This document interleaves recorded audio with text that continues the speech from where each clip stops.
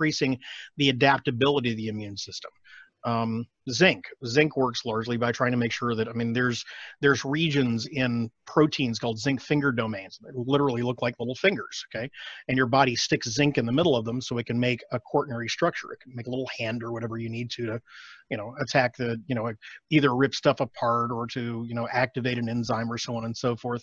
That's part of how zinc works. Of course, it also works by being directly intracellularly toxic to some infected cells. So um, but again, there, no, trust me, I've never seen anybody with a zinc toxicity. I mean, I suppose if you decided to like eat a battery, maybe you could get there, but I don't think it's a large possibility. Um, you know, and standardized dosages of 50 milligrams or so are quite effective.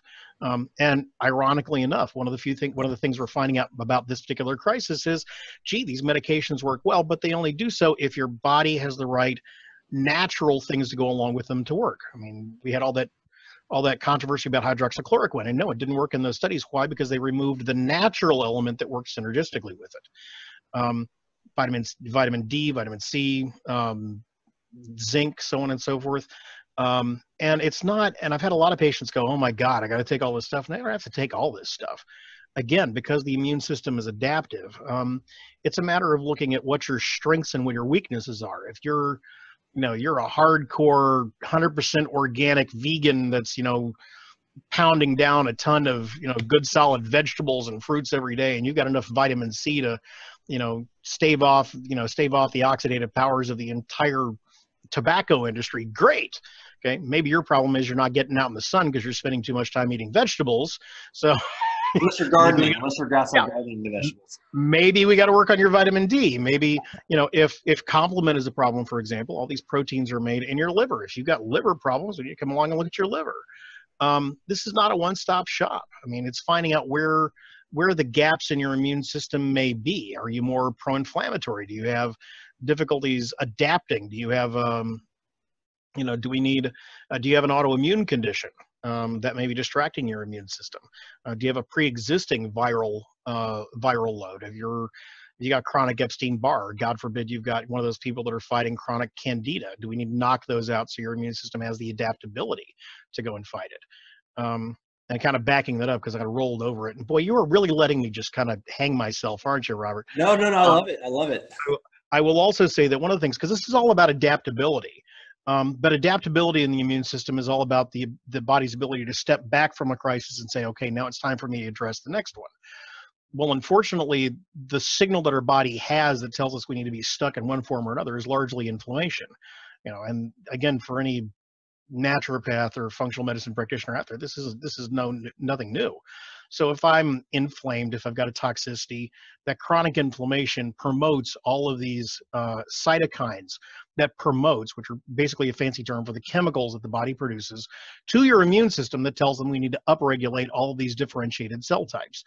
And you know, cytokine, you know, one through twelve, and so on and so forth, and they each got various various uh, stimuli and responses. But what it all boils down to is if if we can reduce that level of inflammation all of a sudden we remove the burden and the signal to the immune system. So now the immune system can use that vitamin c can use that zinc can use that vitamin d uh, to turn around and have more of an adaptive response toward whatever rolls across the across the table at us. Nice. Man so we went we went deep. I'm going to backtrack a little bit. I'm going to backtrack on three things. And first thing so we talked about zinc we talked about vitamin d and we also talked about yep. 1 and th2 so first to the yep. zinc have you been reading any of the research talking about zinc being a positive ion? Therefore, you need a zinc ion phoretic to help increase zinc intracellularly. So, for instance, a lot of research has been looking at quercetin because it's a natural zinc ion phoretic. Have you seen any of those studies? Um, I have. I've. I've not read them, but I've. I've kind of caught it in passing. I mean, it's like everybody else. You get a ton of data. Um, no, and that's that's part of the reason that I think quercetin may be working the way that it does is actually increasing the. Uh, that's why we think, for example, it may be so useful in in heart muscle because it actually helps balance out a lot of those ions. So that doesn't surprise me terribly much.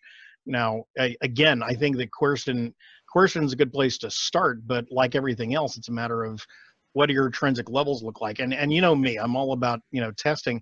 So you know even if it whether it's you know the simple zinc tally test which bluntly everybody fails um, or one of the more advanced serum tests it may not be a bad idea to get those levels checked.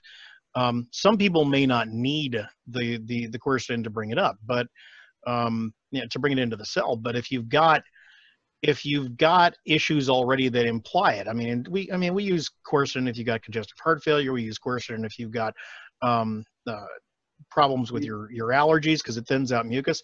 And let me tell you, because I'm from Austin, um, for those of you that may be out of state, we are the allergen capital of the world. There is always some little thing blooming that is making the noses stop up here, and quercetin will dry you up faster than, you know, faster than reading a stereo manual. I mean, it is dry city. Uh, I like quercetin; it does well. It doesn't surprise me that works synergistically, um, and that that brings a good point. Um, the a lot of times we have difficulties with natural substances, even with pharmaceuticals, because the delivery mechanism is impeded by absorption. It's like I was talking about earlier with the gut. If you've got an inflamed gut, no matter how great your, you know, your your nutrients may be, you're not going to pull them across because the gut's not capable of doing it. But we've got the gut lining, we've got transport in the blood, we've got the cellular membranes. There are all these barriers trying to get the the stuff from where it is to where it needs to be to work.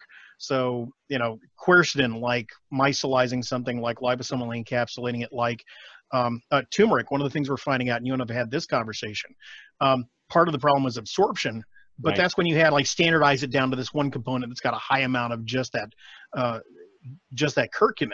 But when you actually get like a full natural form of it, so it's actually got all the subcomponents, all of a sudden the absorption gets better.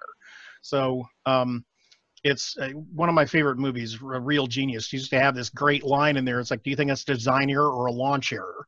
And my, you know, my running joke is, what do you mean a launch error? It's all about design errors, right? You didn't design it right. Well, no, the design may be okay, but it's all about the delivery. It's all about, well, it's about like my bad jokes, right? It's all about the delivery.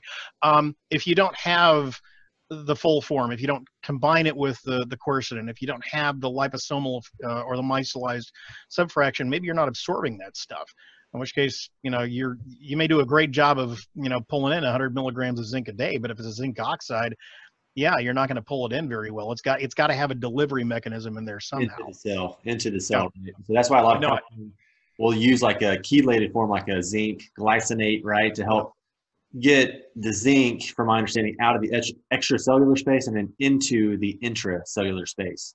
Yeah. So that's like a lot of these so I always talk to, to doctors every day, and some you know some are more conventional. And they tell me, hey, supplements don't work. I'm like, look, doc, 20 years ago, if you're using a calcium carbonate or a zinc oxide or a magnesium oxide, yeah, those probably didn't work because the absorption was super low. But technology, research, yeah. especially in the supplements, is growing and evolving. And it's if you yeah. weren't into supplements now, I can guarantee if we did a blood test on some of these doctors that the labs would show us severe nutrient deficiencies. So, well, and and even with even without doing the nutrients, because conventional allopathic MDs don't run a lot of. I mean, they, even if you look at uh, at nutritional uh, nutritional values, they just they're not familiar with that blood work, but they're familiar with a lot of the conventional blood work. And the the thing is, you can take standardized like um, let's say let's use uh, fish oil. Okay. Um, you know, a nice natural non-esterified, you know, or, or, natural triglyceride form of fish oil. Um, you can run CRP, you can run ESR, you can run um, ANA, you can run a lot of the inflammatory markers, for example, um, and dose them with fish oil. And there are plenty of studies out there that actually show their effectiveness. Um, and uh, the doctors that claim that there's no studies that do that, it's like I invite them. It's like go ahead, prove me wrong, because let's go over to PubMed, which is you know the grand repository of all medical knowledge. And it's open to the public. Fine, go in and type in like you know fish oil, and you know, and of course you're going to get papers on both sides. But it's not like there's no data out there at all. And depending upon how you how careful you are about looking at that data, you can find that there's plenty of data out there that supports it. You're right, Robert. I mean, 20 years ago, 30 years ago, there wasn't a lot of published studies out there in you know good journals and referee journals. But there's no excuse in saying there's no data out there now because there's tons of it if you bother to go out and look. Um, that's also why it's important. And I'm not I'm not I'm not trying to plug you, but I mean, but that's also why it's important to be careful what supplement companies you're working with. Um, because it's all about the science behind the supplements, to borrow a friend of mine's phrase. Um, you've got to make sure that you have not only supplements that have been manufactured well and have a good efficacy, but that you can prove that have had proven uh, studies that show based on this, I'm having this effect, and I can show that. I can show that I can show that on a on a clinical level that I'm having the effects that I'm looking for. because you know you can take all the all the pills you want in the world. You have to be able to prove that they're actually working. So, exactly. yeah, love it. And then um, I, I don't know if you follow Dr. Bredesen. He talks a lot about copper pipes. We know that copper and zinc kind of have an inverse relationship. If you have a lot yep. of fittings, you might have a zinc deficiency. And for a lot of people listening, I'm, what do you think the population is that people are zinc deficient? And oh, uh, easy. Zinc at every day to, to help that. Okay, well, and and and the, my answer to that is the answer is like 80%. And the reason I say 80% because um, so let's go back to what we know zinc does. Um, and you're right, copper does compete with zinc in a lot of respects, and that balance is very important. In fact, if that balance gets too far out of whack, that's one from a functional medicine standpoint, that's one of the indicators for cancer, is when mm. you have an imbalanced ratio between those. Um, copper deficiency, on the other hand, if you push too far the other way, because it's important that balance maintains, you get too far out of copper deficiency, all of a sudden you can start driving driving them forward into hypertension. Weird. Um, yeah, go figure. It's always those weird little things that we all find out. Um, but so let's go back to what zinc does in the body. Okay, it forms those little zinc finger domains. One of the proteins that it forms is that it helps form is gustin, which is in your mouth, right? And gustin is one of those proteins that helps you taste heavy metals. So it literally looks like a little hand, and you got your zinc over here, and it kind of gloms onto it and carries it over to um, to your taste buds. Well, if you are zinc deficient, because it's like having a finger with all, you know, a hand with all the fingers unraveled.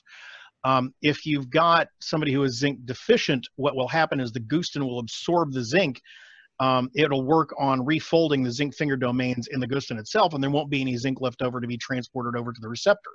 So one of the tricks, and I say tricks because this is like you know all naturopaths have like our our um, you know our our our party favors, right? We have like our party tricks. Do this and see. Ooh, that's amazing stuff. Um, one of the one of the one of them is the zinc, zinc tally test, right? Um, the zinc tally test where you you take a you take aqueous zinc and you you know you swish around in your mouth and and does it taste like water um, or if it tastes metallic how long does it take for it to start taking metallic?